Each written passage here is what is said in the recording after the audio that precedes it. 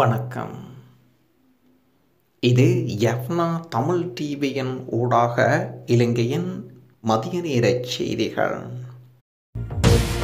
ஐத்தியமலை தூய சதா சகாய அன்னையின் மாசி மாத திருவிழா கொடியேற்றத்துடன் நிறைவு. மட்டக்களப்பு மறை மாவட்டத்தின் பிரசித்தி பெற்ற திருத்தலமான ஆயித்தியமலை தூய சதா சகாய அன்னையின் மாசி மாத திருவிழா ஞாயிற்றுக்கிழமை குடியேற்றத்துடன் நிறைவு பெற்றிருக்கின்றது. தூய சதா சகாய அன்னையின் திருத்தலத்தின் மாசி மாத திருவிழா கடந்த பதினாறாம் திகதி பங்கு தந்தை அருட்பமணி இருதிநாதன். எமில்டன் அடிகரால் கொடியேற்றத்துடன் ஆரம்பிக்கப்பட்டதைத் தொடர்ந்து நவநாட் திருவிழா வழிபாடுகள் இடம்பெற்றிருக்கின்றது மட்டக்கிளப்பிலிருந்து கொழும்பு நோக்கி புறப்படும் புகையிரதத்தில் மோதி ஒருவர் உயிரிழந்திருக்கின்றார். இரவு இந்த சம்பவம் இடம்பெற்றிருப்பதுடன் கொழும்பு நோக்கி புறப்பட்ட புகையிரதத்தில் கல்குடா வனப்பகுதி பகுதியில் இந்த விபத்து இடம்பெற்றுள்ளது. தலை துண்டிக்கப்பட்ட நிலையில் வாழைச்சீனி பொது வைத்தியசாலையின் பிரீத பரிசோதனைக்காக எடுத்துச் செல்லப்பட்டிருப்பதுடன் சடலமாக மீட்கப்பட்ட நபர் வயது முதிர்ந்த ஆண் என்று இனம் காணப்பட்டுள்ளார். தற்கொலை முயற்சியாக இருக்கலாம் என்றும் புகையிரத ஓட்டுநர் தெரிவிக்கையில் வாழைச்சீனி போலீசார் மேலதிக விசாரணைகளை மேற்கொண்டு வருகின்றனர். மைத்ரிபால சிறிசேனா யாழ்ப்பாணத்தில் மதஸ்தலங்களில் விசேட வழிபாடு முன்னாள் ஜனாதிபதியும் ஸ்ரீலங்கா சுதந்திர கட்சியின் தலைவருமான மைத்ரிபால சிறிசேனா யாழ்ப்பாணத்தின் மதஸ்தலங்களுக்கு விஜயம் மேற்கொண்டு விசேட வழிபாடுகளை மேற்கொண்டுள்ளார். நல்லூர் ஆலயத்துக்கு சென்று விசேட வழிபாடுகளை மேற்கொண்ட அவர் பின்னர் ஆரியகுளம் நாகவிகாரைக்கும் சென்று வழிபட்டுள்ளார். அவருடன் நிமால் சிறிபால டிசில்வா தயாசிரி ஜேசகர துமிந்த திசநாயக்கா அங்கஜன் ராமநாதன் உட்பட ஸ்ரீலங்கா சுதந்திர கட்சியின் உயர்மட்ட தலைவர்கள் பலரும் பங்கேற்றிருந்தனர். பருத்துறையில் ஸ்ரீலங்கா சுதந்திர கட்சியின் யாழ் மாவட்ட மாநாடு இடம்பெற்றிருந்த நிலையில் இன்றைய தினம் ஸ்ரீலங்கா சுதந்திர கட்சியின் தலைவர்கள் பலரும் யாழ்ப்பாணம் விஜயம் செய்துள்ளமை குறிப்பிடத்தக்கது. எரிபொருட்கள் விலைகளை அதிகரிக்க அரசாங்கம் முயற்சி ஏவிபி அதிருப்தி. எரிபொருள் விலைகளை அதிகரிப்பதற்கு அரசாங்கம் முயற்சிகள் மேற்கொண்டு வருவதாக ஏவிபி குறிப்பிட்டுள்ளது. எரிசக்தி அமைச்சும் நிதி அமைச்சும் எரிபொருட்களின் விலைகளை அதிகரிக்க வேண்டும் என்று வேண்டுகோள் விடுத்துள்ளமை குறித்து ஏவிபியின் நாடாளுமன்ற உறுப்பினர் ஏதிச குறிப்பிட்டுள்ளார். நாட்டுக்குள் பிரச்சினைகளை தீர்வை காண வேண்டிய அமைச்சரவையின் கூட்டு பொறுப்பை அரசாங்கம் மறந்துவிட்டது. குறிப்பாக அதிகளவுக்கு விலையை உயர்த்துவதற்கு தீர்மானித்திருப்பதுடன் அனைவரும் மின்சார நெருக்கடியின் பாதிப்பை எதிர்கொள்கின்றனர். கிழக்கு மாகாண கல்வியில் அரசியல் தலையீடுகள் பாரிய பிரச்சினை யோசப் ஸ்டாலின். கிழக்கு மாகாண கல்வியில் அரசியல் தலையீடுகள் பாரிய பிரச்சினையாக இருப்பதுடன் இலங்கை ஆசிரியர் சங்கத்தின் பொதுச் செயலாளர் யோசப் ஸ்டாலின் அறிவித்துள்ளார். இலங்கையில் உள்ள கிழக்கு மாகாணத்தின் கல்வி செயற்பாடுகள் இனிய ஒன்பது மாகாணங்களை விட விசேடமான செயல்பாடுகளாக இருப்பதுடன் இதன் காரணமாக ஆசிரியர்கள் அதிபர்கள் கல்வி ஆலோசகர்கள் பலரும் பிரச்சினையாகி வருகின்றனர். இது தொடர்பில் பல தடவைகள் கிழக்கு மாகாண ஆளுநர் கிழக்கு மாகாண கல்வி அமைச்சின் செயலாளர் கல்வி பணிப்பாளர்களின் விசேட கவனத்துக்கு வலிய கல்வி பணிப்பாளரினால் கொண்டு செல்லப்படுகின்ற போதிலும் எந்த செயல்பாடுகளும் முன்னெடுக்கப்படுவதில்லை. ஐக்கிய நாடுகளின் மனித உரிமைகள் பேரவையின் எதிர்வரும் அமர்வு குறித்து அமைச்சர் சரத் வீரசேகர தெரிவிப்பது என்ன? யுத்தத்தின் போது நாங்கள் திட்டமிட்டு வடபகுதிக்கான உதவிப் பொருட்களை தடுத்தோம் என்ற குற்றச்சாட்டு முன்வைக்கப்பட்டது. அது தவறானது. பொதுமக்கள் பாதுகாப்பு அமைச்சர் சரத் வீரசேகர விசேட நேர்காணலில் குறிப்பிட்டுள்ளார். இவை அனைத்தும் ஐக்கிய நாடுகள் மனித உரிமை ஆணையாளர் அலுவலகத்தில் இலங்கை குறித்த விசாரணை அறிக்கையில் ஆரம்பமாகி இருக்கின்றது. இந்த அறிக்கை எங்களுக்கு எதிராக எட்டு யுத்த குற்றங்களில் ஈடுபட்ட குற்றச்சாட்டுகள் முன்வைக்கப்பட்டிருக்கின்றது. சர்வதேச மனிதாபிமான சட்டங்கள் முறியமை தொடர்பில் நான்கு குற்றச்சாட்டுகளும் சர்வதேச மனித உரிமை சட்டங்கள் மீறியமை தொடர்பில் நான்கு குற்றச்சாட்டுகளும் முன்வைக்கப்பட்டன.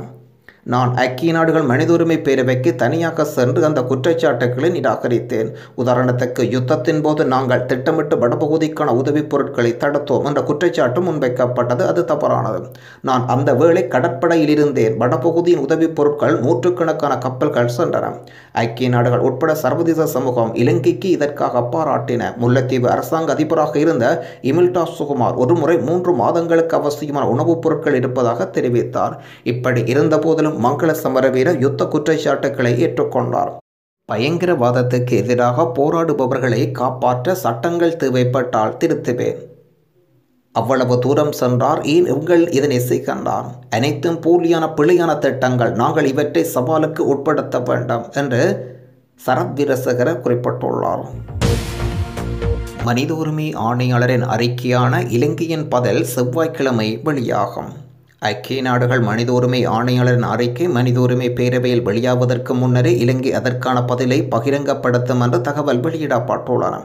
மனித உரிமை ஆணையாளர் அறிக்கை குறித்த முற்கூட்டிய பதிவொன்றை வெளிவர அமைச்சு வெளியிடுகின்றார் என்று தகவல் வெளியாகி இருக்கின்றது இலங்கைக்கு பதில் இருபத்தி ரெண்டாம் தேதி வெளியாகலாம் என்று தகவல் வெளியிடப்பட்டிருக்கின்றது. நூற்றி நாற்பது வரலாறுகளுடைய கைரியாவுக்கு அலிசப்ரி வாழ்த்து. முஸ்லிம் பெண்கள் கல்வியில் வளர்ச்சி காணுவதாகவும் மகிழ்ச்சி. இலங்கையில் வாழும் முஸ்லிம்கள் ஆயிரத்தி நூறு ஆண்டுகளுக்கு மேலாக வரலாற்றில் இலங்கை முஸ்லிம்களின் பாதுகாப்புத்துறை பொருளாதாரத்துறை நீதித்துறை வைத்தியத்துறை என்று இன ஐக்கியத்தை கட்டி வளர்த்தல் போன்ற சகல விடயத்திலும் பங்காற்றி வந்துள்ளதாக வரலாறு இருக்கின்றது என்று நீதியமைச்சர் அலி சஃப்ரி அறிவித்துள்ளார். தெமெட்டகொட ஹைடியா மகளிர் கல்லூரியில் நூற்றி நாற்பது வருட நினைவு தின நிகழ்வு கொழும்பில் உள்ள தாமரை தடாக திரியரங்கில் நடைபெற்றுள்ளது. இந்த நிகழ்வுக்கு பிரதான அதிதியாக கலந்து கொண்டு உரையாற்றும் போது நீதியமைச்சரும் ஜனாதிபதி சட்டத்திரணியுமான அலி சஃப்ரி இதனை குறிப்பிட்டுள்ளார். பன்னங்குளம் வாய்க்காலில் வீழ்ந்து கிடந்த யானை உயிரிழப்பு. திருகோணமலை பன்னங்குளம் பகுதியில் வாய்க்காலில் வீழ்ந்து கிடந்த யானை உயிரிழந்திருக்கின்றது. கடந்த ஏழாம் திகதி தொடக்கம் பன்னங்குளம் பிள்ளையார் கோவிலுக்கு அருகிலுள்ள தனியார் காணியொன்றில் வாய்க்காலில் விழுந்து கிடந்த யானையை இவ்வாறு உயிரிழந்திருக்கின்றது யானை உயிரிழந்தமை தொடர்பில் இன்றைய தினம் விசேட வைத்தியர் பரிசோதனைக்காக முன்னெடுக்க இருப்பதுடன் வன ஜீவராசிகள் திணைக்களத்தின் அதிகாரி தெரிவித்துள்ளார். ஆனாலும் வன ஜீவராசிகள் திணைக்களத்தினால் யானையை காப்பாற்றுவதற்கான சிகிச்சைகள் அளிக்கப்பட்டு சிகிச்சை பலனளிக்கவில்லை என்றும் அதிகாரி அறிவித்துள்ளார். நிந்தவூர் பொதுமக்களுக்கு யும்மா பள்ளிவாசல் விடுக்கும் விசேட அறிவித்தார் அண்மை காலமாக நமது ஊரில் இனம் தெரியாத ஒரு கும்பல் வேனில் வந்து அந்த வாகனத்தை ஊரின் பிரதான வீதியில் அது வேறு எங்கேயாவது ஒரு மறைமுகமான இடத்தில் நிறுத்திவிட்டு ஊருக்குள் நுழைந்து பல கொள்ளைச் சம்பவங்களில் ஈடுபட்டு வருவதாக நம்பத்தகுந்த செய்திகள் தற்பொழுது கிடைக்கப்பட்டிருக்கின்றது எனவே பொதுமக்கள் இத்தொடர்பில் விழிப்புடன் இருக்குமாறும் அவரண சந்தேகத்துக்குரியவர்கள் நடமாடுவதைக் கண்டால் உடனடியாக நீந்தவூர் போலீஸ் நிலையத்துக்கு அவசரமான தகவல் கொடுக்குமாறு அன்புடன் கேட்டுக்கொள்கின்றோம். யும்மா பள்ளிவாசல் நீந்தவூர். காத்தாங்குடியைச் சேர்ந்த இரண்டு இளைஞர்கள் பதினைந்து கிராம் போதைப் பொருளுடன் சம்மாந்துறையில் வைத்து விசேட அதிரடிப்படையினரால் கைது செய்யப்பட்டிருக்கின்றனர். பெரிய நீலாவணை விசேட அதிரடிப்படையினருக்கு கிடைத்த தகவல் ஒன்றின் அடிப்படையில் இரண்டு சந்தேக நபர்களும் சம்மாந்துறை பிரதேசத்தில் வைத்து அதிரடிப்படையினரால் மடக்கி பிடிக்கப்பட்டிருக்கின்றனர். இங்கு சூழ்ந்திருக்கும் வயோதிபர்களுக்கு சாட்சி அன்றைய காலப்பகுதியில் இடம்பெற்ற மன்னார் மருச்சிக்கட்டை பிரதேசத்தினை எவ்வாறு அபூர்த்தி செய்து காட்டினார் ரிசார்ட் பதோதேன்? சொந்த நிலங்கள் பில்பத்து காட்டுப்பகுதியை சார்ந்ததாகவோ இருந்தன. இடம்பெயர்ந்த முன் அப்போது வாழும் காணி பிரச்சினை இல்லை. மீண்டும் மீள்குடியேற்ற சொந்த நிலங்களில் வாழ சென்றபோதே பிரச்சினை வந்தது. அத்தனை பிரச்சினைகளையும் தன்மேல் அப்பாண்டங்களையும் பலர் விதமாக விமர்சனம் செய்தனர். தங்கள் சுயநலத்துக்காக அத்தனை தடைகளையும் தாண்டி சாதித்திருக்கின்றார் ரிசார்ட் பதுதீன். இந்த வயோதிபர்கள் சாட்சி அவர்களின் பிரதேசத்தில் ரிசார்ட் பதுதீன் செய்த உரிமைகள் கடமைகள் சேவைகள் எவ்வாறு நடந்திருக்கிறது என்பது காலங்கள் சென்றாலும் நடந்த தடம் பதித்த வரலாறு மாறாதும் யாழ்ப்பாணம் கசூரினா கடலில் நண்பர்களுடன் குளிக்கச் சென்றவர் நீரில் மூழ்கி உயிரிழந்திருக்கின்றார் குளியாப்பட்டை பகுதியைச் சேர்ந்த ஐம்பத்தி ஏழு வயதான அண்டன் இயக்கப் என்பவரை தொழில் நிமித்தம் மண்டுதீவில் தங்கியிருந்த நிலையில் நண்பர்களுடன் கஸ்தூரினா கடற்கரைக்கு குளிக்க சென்றிருந்தார். இதன்போது கடல் எல்லையில் இழுத்துச் செல்லப்பட்ட நிலையில் காணாமல் போயிருந்தார். பின்னர் அவருடன் சென்றிருந்த நண்பர்கள் கடலில் தேடி அவரை மீட்டு வைத்தியசாலையில் அனுமதித்த போதும் அவர் ஏற்கனவே உயிரிழந்து விட்டதாக வைத்தியசாலை தகவல் தெரிவிக்கின்றன.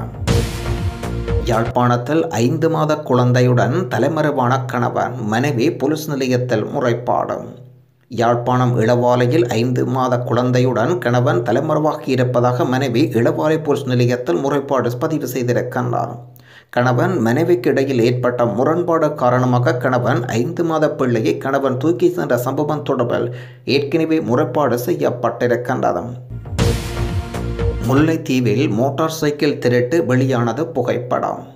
முல்லைத்தீவு பொதுக்குடியிருப்பு முருகன் கோவில் அருகில் இருந்த மோட்டார் சைக்கிள் ஒன்று களவாடப்பட்டுள்ளதாக தகவல் வெளியிடப்பட்டிருக்கின்றது இந்த இலக்கமுடைய மோட்டார் பகம் சைக்கிள் ஒன்றை களவாடப்பட்டிருப்பதுடன் இந்த திருட்டு சம்பவத்தில் தொடர்புடைய சந்தேக நபரின் புகைப்படம் வெளியிடப்பட்டுள்ளது. இந்த நிலையில் இவர் தொடர்பில் மோட்டார் சைக்கிள் குறித்த தகவல் தெரிந்தால் சைபர் எழுபத்தி ஏழு முப்பத்தி ஏழு இருபத்தி எட்டு சைபர் தொண்ணூற்றி ஏழு என்ற இலக்கத்துக்கு தொடர்பு கொள்ளுமாறு கேட்டுக்கொள்ளப்படுகின்றீர்கள். நன்றி.